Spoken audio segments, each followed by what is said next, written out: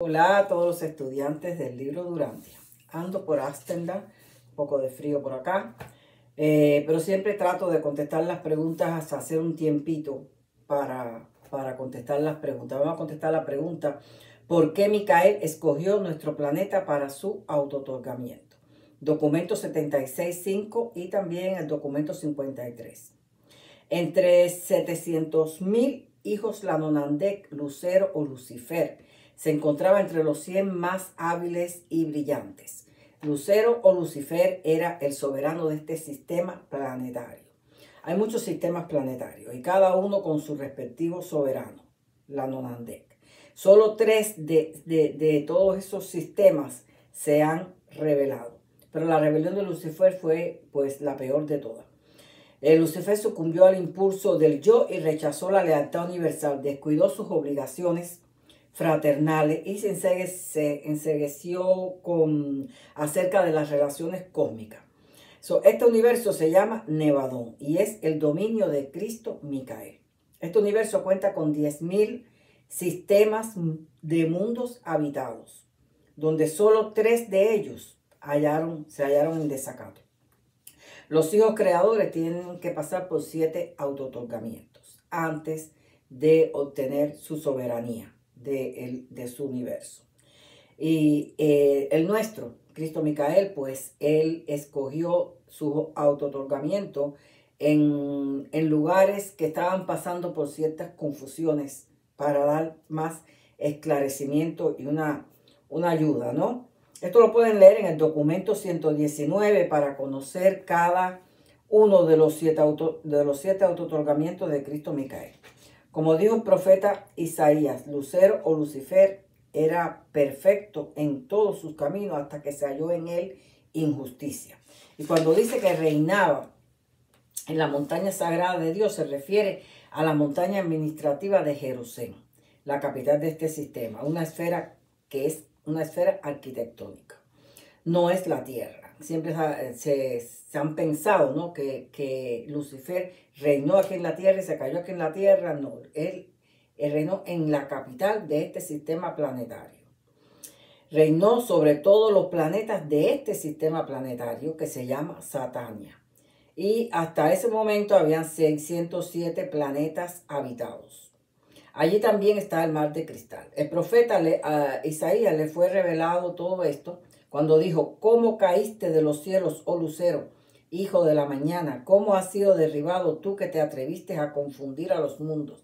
Y es que uno de los planetas más afectados fue este planeta Tierra. El príncipe de la, de la Tierra era Caligastia, que era otro Lanonandek. Y cuando se unió a la rebelión de Lucifer, dos tercios de los seguidores de él, pues lo siguieron y también los eh, eh, dos tercios de los ángeles. Pero el tercio que se mantuvo firme pudo sobrevivir. Para cuando esto ocurrió, aún Micael no había hecho el autotorgamiento final que le da la soberanía, que es eh, aparecer como hijo de mujer en la carne. Lucifer no era conocido en la tierra, solo el príncipe Caligastia, a quien lo apodaron después como el diablo. También a Satanás, el ayudante o asistente de Lucifer, el abogado de su causa, es quien aboga por la causa luciferina. Lucifer, Satanás y Caligastia se aliaron ah, para frustrar el autotorgamiento de Cristo Micael.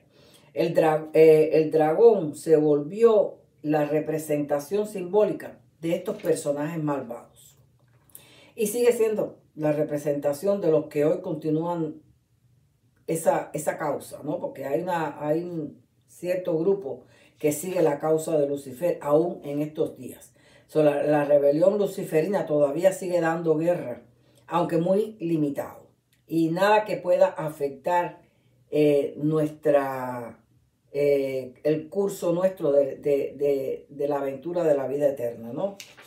Ok, pero en cuanto, en, en cuanto Micael triunfó en la persona de Jesús de Nazaret en aquel monte, Gabriel bajó de sábito y encadenó al dragón y a todos los líderes rebeldes.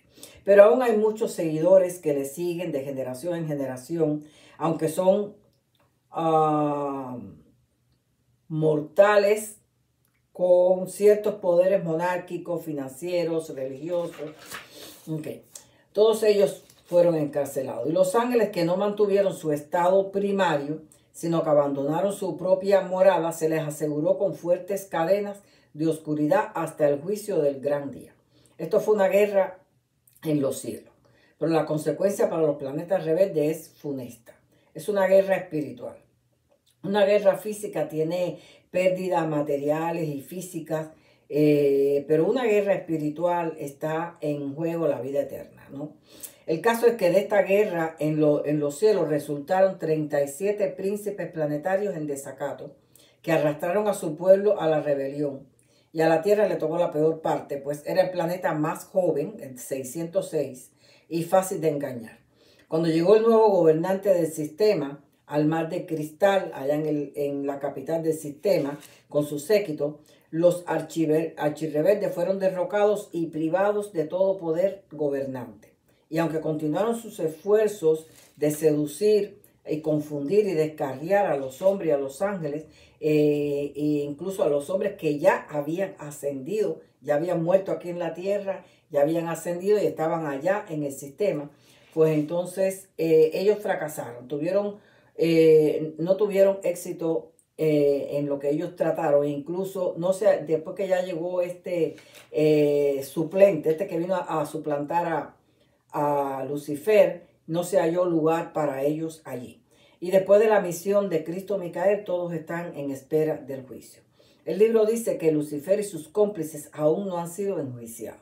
También dice que el diablo, al diablo se le ha culpado eh, los males del hombre y, que eh, los demonios los dominan. Pero realmente es el mismo hombre con todas sus tendencias humanas pecaminosas, inherentes y viles que ha escogido el mal, quien ha provocado todas, todas sus consecuencias y todas las cosas que, pasan. Eh, ellos no tienen nada que ver. Dice que Caligasti ha sido comparativamente impotente a partir de la cruz de Cristo.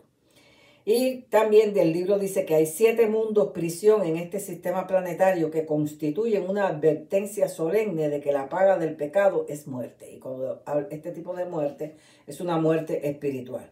El pecado es potencial en todos los reinos imperfectos, pero el hombre siempre ha tenido la dote de, saber elegir entre el bien y el mal. La elección deliberada del mal es pecado y la insistencia eh, en esa elección pues es la iniquidad. Muchos siguen la teoría luciferina, pero hay un gran remanente que siempre busca lo divino. Este planeta está sumido en la oscuridad, pero desde que vino Micael no tiene por qué ser así. Si, lo, si, si nosotros lo seguimos a Él y obviamos todo, la, toda, todas las enseñanzas, eh, por lo menos las enseñanzas que vienen de la parte de Pablo, ¿ok? Y las enseñanzas que vienen de los judíos. Si las enseñanzas de los judíos, pues son el Antiguo Testamento, ¿no? Y las enseñanzas de Pablo son todas las cartas paulinas. Pero eh, si nosotros aprendemos a tener el discernimiento y a sacar, a extraer del Antiguo Testamento la parte de los profetas, la parte de los últimos profetas, que, son los que están más claros. Y en la, en la parte de, Pablo hay que hacer mucho discernimiento porque eh, dice, em, Pablo incluyó muchas de sus religiones anteriores. Por eso yo recomiendo siempre leer la cuarta parte del libro Durantia para que vean que ahí está eh, cronológicamente todas las enseñanzas de Jesús. Y eh, están bien estructuradas y bien clarificadas, que no queda duda. Eh, cuando uno lee la Biblia, pues ese, esa, los evangelios están muy alterados. Y, y esa coincidencia de la, casi las mismas palabras de uno al otro, no es porque Dios lo reveló con la misma palabra ni nada de eso, sino fue porque se copiaron unos a otros y, sucedió. Todo eso es lo que tiene la confusión de la gente, ¿no? Entonces, ¿por qué Cristo Micael escogió este planeta entre millones? Porque éramos los más confundidos, en parte era por eso, porque eran los más confundidos de todos y vino para mostrarnos el camino de la luz. Pero el documento 76.5 dice, que deberíamos estar muy agradecidos y sentirnos muy afortunados por haber sido escogidos, que además deberíamos de tomar conciencia y considerar como beneficio los errores de los primeros gobernantes que hicieron tanto mal. Es decir, si uno como humano que haya vivido en una familia eh, disfuncional, donde todo funcionó mal, digamos que había alcoholismo o había que no se llevaban bien o eh, había mm, cualquier problema eh, disfuncional de una familia, entonces las nuevas generaciones casi siempre tratan de crear su nueva familia con, con mayor eh, cuidado para no caer en lo mismo que cayeron sus padres, ¿ok? Eh, entonces ellos tratan de, alcanzar niveles mejores y mayores. Como, eh, y también si, si uno como familia trata de ser en la próxima generación mejor que la previa, entonces como a nivel a nivel de colectivo, civilización, no vamos a hacer lo mismo y entender que aquella forma de gobernar no es correcta y que tenemos que corregirla. Cristo Micael escogió el planeta Tierra, que cosmológicamente se llama Urantia, porque fue atraído por el trasfondo inigualable de tanta oscuridad. Eso es lo que dice el libro. Tanto así, dice este documento, que seleccionó la Tierra como el escenario por el cual revelaría a todo un universo la personalidad benigna del Padre Celestial. El documento también dice que el planeta no necesitaba a un hijo creador para poner en orden todos estos asuntos enredados, toda esta confusión de los hombres, sino que el mal y pecado se desarrolló tanto que tal oscuridad le ofreció a él el trasfondo más espectacular ante el cual revelar el amor la misericordia y la paciencia sin par del Padre paradisíaco. Que el hombre siempre ha sido habitado por un espíritu divino que lo guía hacia Dios. Que culpar al diablo y sumergirse en los placeres de la carne es pura justificación.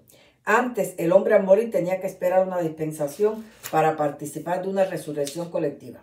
Ahora después de Cristo resucita el tercer día si es que sobrevive. Si no sobrevive, sí tiene que esperar una dispensación. No sé si el libro dice a dónde van mientras, eh, creo en alguna parte dicen que duermen, pero yo creo eh, que algunos quizás puede que duerman, pero creo, por algunas revelaciones que he tenido, creo que aquellos que persistieron en el pecado, en la iniquidad, van a los mundos prisión y, y van conscientes de que están allí, no están dormidos. ¿Ok? Y eh, un mundo prisión no quiere decir que van a estar tras reja como es una cárcel aquí, ¿no? Quiere decir que en ese mundo no existe el bien. Es decir, todo lo que está ahí es lo malo, ¿ok? La gente mala, la gente que no hay gente buena y hay oscuridad. Como no hay gente buena y todo lo que, lo que vive ahí es lo, lo malo, pues es un lugar donde hay malos y peores y muchas tinieblas no llega la luz suficiente, el sistema de vida es eh, nefasto. El problema de la confusión que hoy existe en la tierra es pues la mezcla de creencias y religiones que, que, que, existen en todo el mundo, pero también están mezcladas en el cristianismo. Cuando se entiende que el Antiguo Testamento es de los judíos solamente, que las cartas de Pablo están contaminadas con sus creencias de religiones que él practicaba antes de convertirse, cuando se entienda que los evangelios de la Biblia están alterados y que Jesús siempre dijo que no dejaran escrito. Y cuando se entienda que Jesús dijo que la verdadera religión es la que vive en el corazón de los hombres bajo la guía de su Espíritu residente, el Espíritu de Dios, la presencia de Dios dentro de nosotros. Ese día entonces comenzaremos a crecer verdaderamente como seres espirituales.